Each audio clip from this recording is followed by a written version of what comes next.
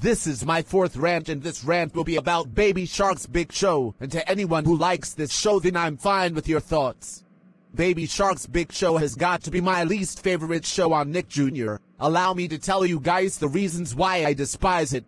This show is about these sharks and the goldfish, and they like to sing some horrible songs. This show just scamming some new episodes on Nick Jr., and this show has some baby shark do do do song and a theme song, which is so annoying. And you know what's worse? They have a movie called Baby Shark's Big Movie, which this movie is trash. Do you know who likes this show?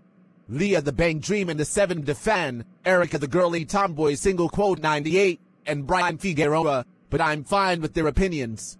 And do you know who hates this show?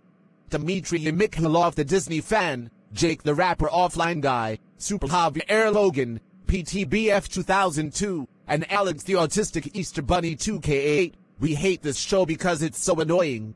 Okay, this is the end of the rant. My next rant will be about Oobi,